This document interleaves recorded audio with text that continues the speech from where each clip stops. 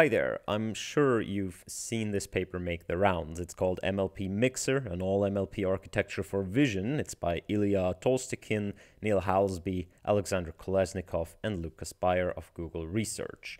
This is not going to be a long video because the concept is pretty simple. Um, these people, did I say others or just the four names? I don't remember. There are a lot of authors here. All of them deserve credit. This paper presents a neural network that is just MLP, so just feed-forward multi-layer perceptrons. No convolutions, no attention mechanism. It's just matrix multiplications, nonlinearities, normalization, and I think skip connections. But that's not really a layer, is it? Um, so it appears we've come full circle in computer vision, going from MLPs originally to convolutional neural networks, some pixel RNNs, then vision transformers. And by the way, this paper is going to be much more understandable if you've read the paper on vision transformers, uh, because it's from largely the same people and does the same kind of experiments and methodologies. And now we've come back to MLPs. Turns out the thing you've tried at the very beginning, you know, it works after all. No, I'm, I'm kidding. So it's not just as simple as slap an MLP onto the problem and that works. There is a, still a very specific architecture involved right here.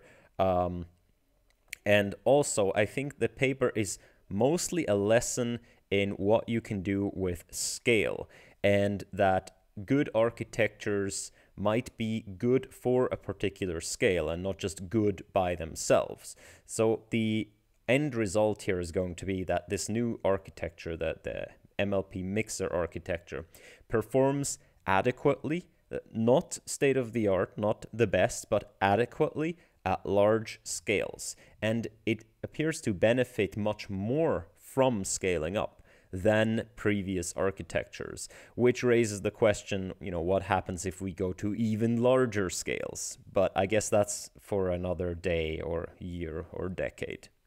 So let's just dive in. Uh, this is the, the architecture, the computer vision architecture that is proposed. It's a classification architecture. You see this right here. Uh, at the end, there's like a fully connected uh, layer and a class label. And also there is a global average pooling. So at the end, you just collect everything you've done and you put it into a classifier and that gives you a class label. So that means it's amenable to uh, fine tuning where you freeze the the representations that come out of the model and all of this this kind of stuff that you might already know. At the beginning of the model, you have a picture. And like in Vision Transformer, you're going to divide that picture up into patches. So in this case, you take something like 16 by 16 pixels as a patch, and those become your patches down here.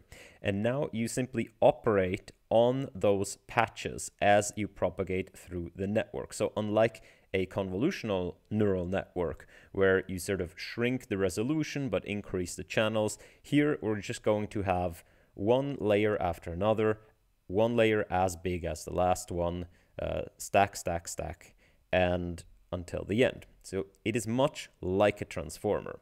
Of course, the difference between this and the transformer is in how the individual layer looks. So like in the transformer, first of all, every patch is fed through a fully connected layer to bring it into a latent representation. So this right here, these right here are the latent representations. They're of a size that you choose as a model builder, and that's going to be kind of the latent size that propagates through the network. So this is done on a per patch basis, and this per patch operations, and uh, you know, uh, in general, these these sort of repeated operations are going to be the key to this architecture right here. So every patch is projected using the same uh, function into the latent space. Okay. Then we this is followed by n of these mixer layers. Now, what does a mixer layer do? And here is where the core comes in. So in every layer, you start out with, you know, you've just seen here, we, we had patches, but now we have these latent embeddings, like this stuff right here. Right? This essentially is one vector for every patch. So every patch, you unroll the patches, like so, and every patch gets you one vector, right? Every patch in the image corresponds to one vector. So technically, this here you can interpret this as a table. So that's what they do here. Well, it's just the other way around, right? So this, this here is the lower left corner. This one is the patch right next to it. This one is the patch right next to that patch and so on. And each patch has one, two, three, four, and so on channels. Each patch is described by a vector of whatever, how many dimensions. I guess something like 512. Okay. And now if you traditionally, if you solve this problem and you said, well, I have an all MLP, an all MLP uh, architecture for vision, what you would do is you would take that table and completely unroll it into one vector, right?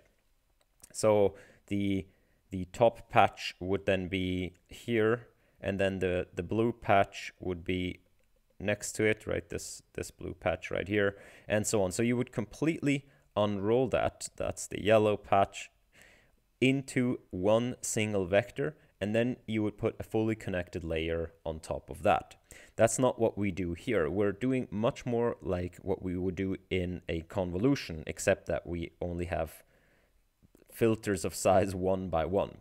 So there are two different um, two different, in this mixer layer, there are two different, how should I say this, um, modes of operation. First, we do the following. We flip this table, we transpose this table, and um, so that means every row here is the same channel from all the patches. So it's always channel 1 from all the patches in the image, right? So from all the patches, I want channel one, and I'm going to feed that through a fully connected layer. I also take all the patches, but channel two, so channel two from all the patches, I'm going to feed that through the same fully connected layer. Uh, in fact, you can see these weights are all shared right here.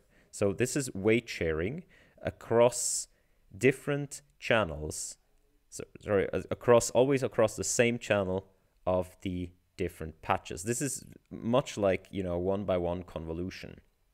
So uh, actually, this one here is more like a one by one convolution, but it is weight sharing, okay?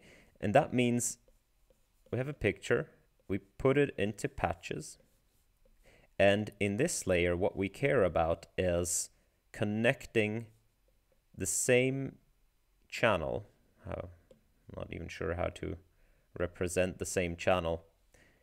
I guess you can say you, you want the same type of information since this this all builds on the weight sharing of the last layer, right? So this fully connected layer right here, it's the same for every patch. So that fully connected layer might look at the patch and if there is something like a sharp corner in the top left uh, corner of that patch, it might put that into channel 1. So now all of the patches that have that in the top left corner, like some sharp corner here, will have that in their first channel. Okay. So now if I aggregate among the same channels, if I do this, then if the first channel here reacts um, across the patches, you know, I can aggregate all the patches that have that feature um, because the feature producing map was shared. Okay, so all of this builds on the fact that in the last layer features were shared too. So here we share the projection, which means that the channels in the individual patches mean similar things, okay, because they come from the same function. And since they mean similar things, we now group by those channels and aggregate or, or compute over all the patches in that particular channel. And since that particular channel has the same information, you know, that sort of lets us compute on a, on a feature by feature basis. Now, also, of course, these weights are shared. So um, since these weights are shared, that means sort of on a meta level that now I'm going to perform the same computation in all of those channels, which means that now I can I can do the, the reverse trick again and flip the table back into patches and then do this shared computation for all the patches. So ultimately, I just have number one, one weight matrix where I forward propagate all of the channels individually, but in the same way. And here I have another one, so that's number two. I have one forward propagation matrix where I propagate all of the patches individually, but in the same way, right? And again, um, since I now have done the same computation over here, that means that the result here is going to be sort of distributed in the same way across patches. Now I aggregate this into the patch location and I forward propagate this.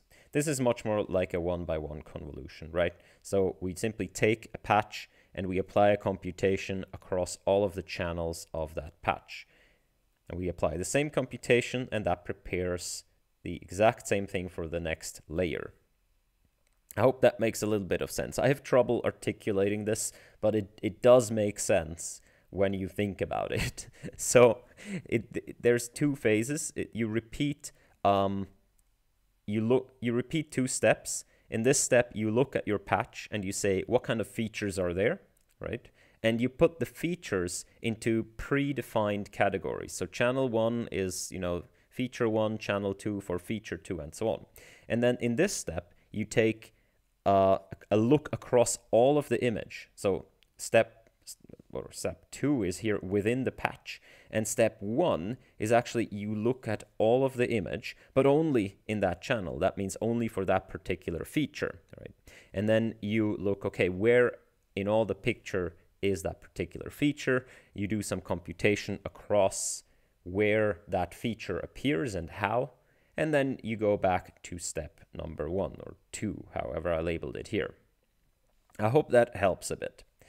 The MLP uh, is not really, I didn't really say this correctly, you don't have one matrix. In fact, it's two fully connected layers that are separated by a nonlinearity. Um, however, this, yeah, it's not one weight matrix, it's, it's two weight matrices. They are shared though, across channels or across patches, depending on the step. And that's it. Um, that's the architecture. There is, as you can see, layer norm. You also saw this here in the diagram. There's always the, the layer norm layer uh, involved here. Is this? Yep, and here. And there are skip connections, as you can see at the top. But largely, that's the architecture. So what does this give us? If again, if you've seen the vision transformer paper, this is or the big transfer paper, all of this is extremely similar in terms of architectures. Uh, what they do is they build a bunch of different uh, sized models with different uh, patch resolutions. So this, you see the resolution is always the number after the slash, right? So here this would be 16 by 16. So obviously the lower this number, the higher the the resolution where the the higher the resolution in which the model looks at the picture, right? now, one advantage here is that uh, compared to, for example, vision transformers, is that vision transformers, of course, due to the attention mechanism, they have a quadratic requirement of, of compute and memory as they go, as they increase the sequence length, which means as they lower this number right here, um, their number of patches in the image increases, and therefore they suffer quadratically, while this model only suffers linearly from this.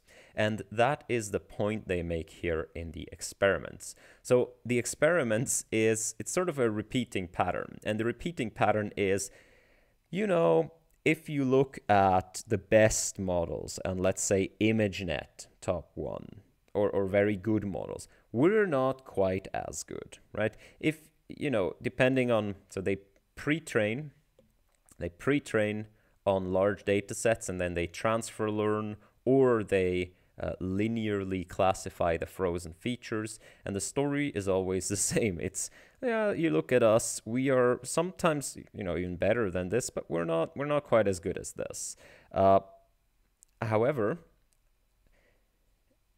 we are competitive right? That's the, the the the the core message here is that we are competitive you know competitive if if this had been on the market a couple of years ago, this would have been state of the art by far.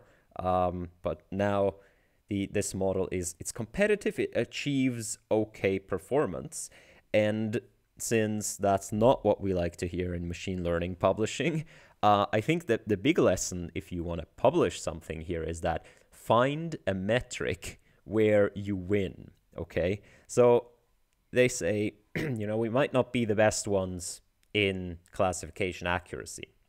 However, we're okay and we have a better trade-off. So there are a number of trade-offs they look at right here. For example, throughput, you see this right here. Throughput, images per second per core during inference. This is something that's really important to practitioners, to people that actually have to deploy these models, right? And you can see that the throughput of Mixer here is way above these other models, of course, uh, because, you know, convolutions here, they're you know they're a difficult operation and also this this big transfer model it has a lot more layers uh, i think than the the, the, mixer or vision transformer. And of course, the vision transformer itself has that attention mechanism. So not only does it have that quadratic requirement, it also has the, the sort of computation of the softmax itself and so on.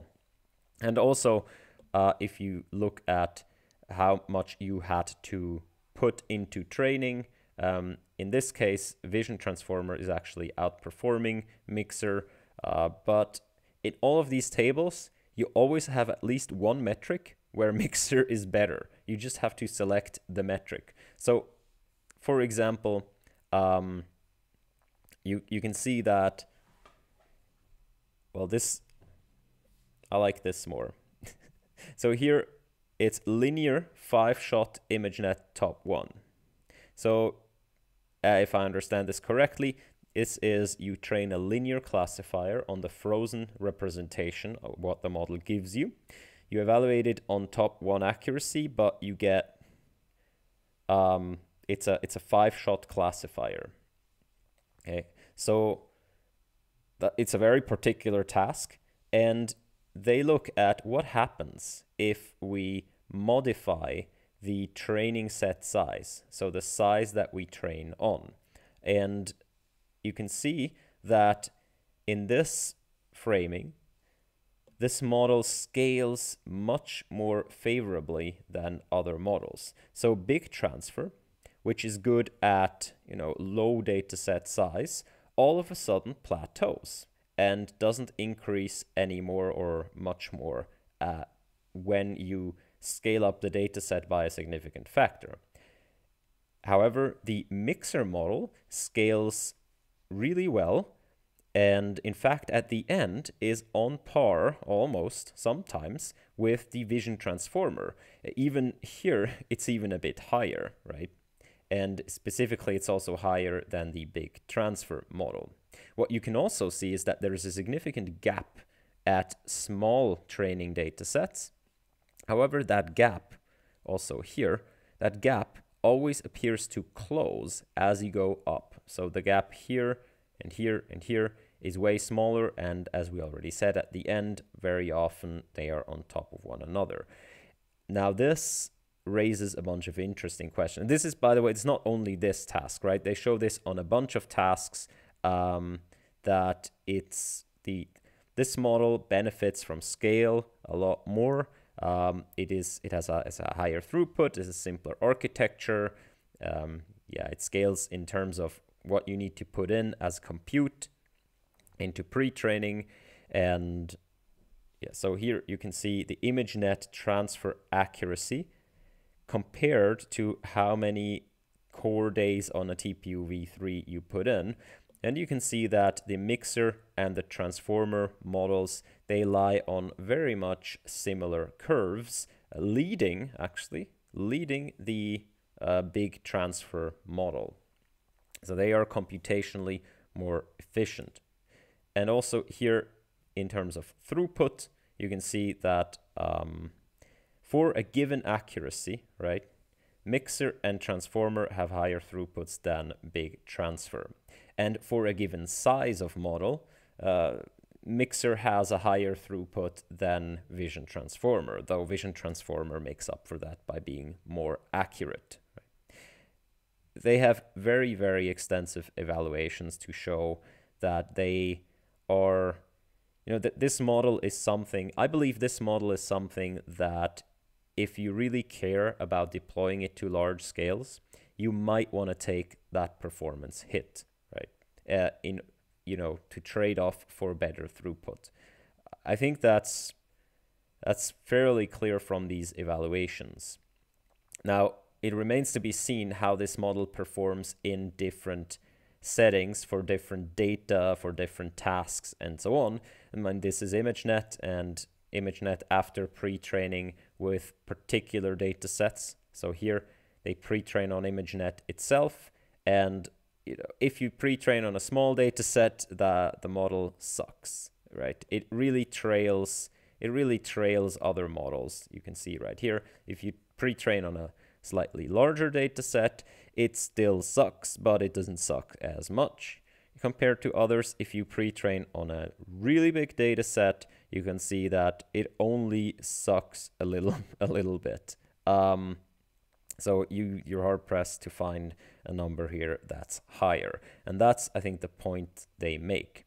Now the interesting question for me is, is this like how does this go on as we go higher? Like as we go one order of magnitude higher in our data set and compute and so on, is it the case that the mixer uh, continues rising while the vision transformer sort of plateaus out, which would be really interesting because you could you could then make the case that the vision transformer actually has more inductive biases than the um, the mixer because both seem very general, right? And I would personally argue that the vision transformer is more general and has less inductive biases because here the mixer first of all the weights are fixed and second of all there's this very particular chessboard pattern to how you interact with the input data right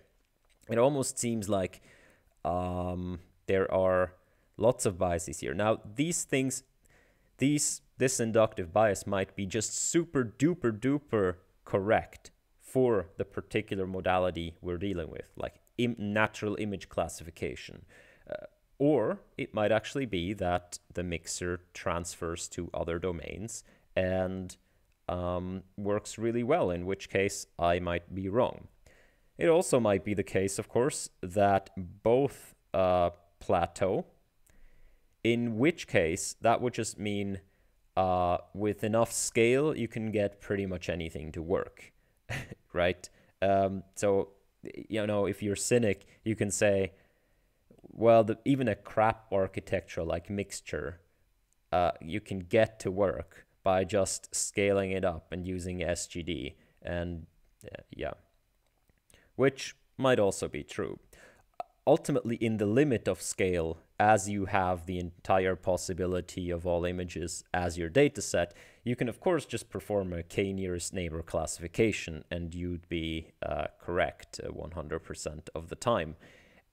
I don't think we're there yet with the scale, but the the sort of trend is relatively clear, but it will be really interesting to see how that goes on after, you know, after our current limits the last thing they show here is the the weights and uh, so they make a, a, couple of interesting let's say um, interesting observations here these are the token mixing weights so every point here corresponds to sort of one uh, patch in the original image. So th this is how do you aggregate information within the same channel across different patches, right? And they make some observations, namely, for example, that the weights here appear, for example, in pairs of negative positive. So blue and red here are, are uh, high and low values. Um, also, in the lower layer, so if I'm correct, this is the, the first, the second, and the third uh, block. So this, this is the lower layer uh, down here, and the high layer is here. You can see that in the lower layer, you have rather large scale general features that are learned, while as, as you go higher, you have much more specific interaction specific uh, weights that you learn. And this all is very reminiscent, let's say, of how we think or how we observe convolutional neural networks uh, work. So it's a good case here that the model learns something that it is that is sensible. You can watch all of these weights. I think they have it in the appendix. They have um, the full weights right here, also pre-trained on different data sets. And, and this is really interesting too. So if you pre-train on ImageNet, it looks qualitatively different than if you pre-train on ImageNet 21K, which is just it's a it's a it's larger with more classes, and that's also significantly different than if you pre-train on this JFT 300M, which is a super huge data set that's proprietary held by Google, um, and it's still I think that it's still unclear whether these differences are an effect of scale or an effect of how how how accurate the downstream model is. So like let's say an effect of um, how well how much signal there is to learn independent of scale or whether it is actually just a property of the data sets being of a different nature. And that would also explain why ImageNet and ImageNet 21K are seem to be a bit closer together visually than JFT 300M. Though don't forget that JFT is a huge data set. The code is open source. In fact, it's right here. Uh, you just take it. Also, I've seen already a bunch of people implement this. So this was it for me for this paper.